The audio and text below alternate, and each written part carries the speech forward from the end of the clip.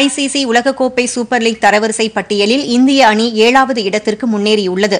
இங்கிலாந்துடன் கடந்த இருபத்தி ஒன்பதாம் தேதி புனேயில் நடைபெற்ற இறுதி ஒருநாள் கிரிக்கெட் போட்டியில் வெற்றி பெற்று இந்தியா இரண்டுக்கு ஒன்று என்ற கணக்கில் தொடரை வென்றது. இதனை அடுத்து ஐசிசி உலகக்கோப்பைக்கான தகுதிச்சுற்று பட்டியலில் இந்திய அணி முன்னேற்றம் கண்டுள்ளது.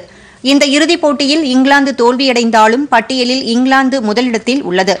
ஆஸ்திரேலியா இரண்டாம் இடத்திலும் நியூசிலாந்து மூன்றாம் இடத்திலும் உள்ளன.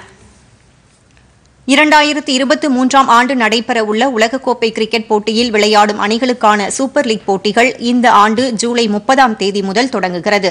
ஆனால் தகுதி பட்டியலில் முதல் எட்டு இடங்களை பிடிக்கும் அணிகள் நேரடியாக உலகக்கோப்பை கிரிக்கெட் போட்டிக்கு தகுதி பெறும் என்பது குறிப்பிடத்தக்கது.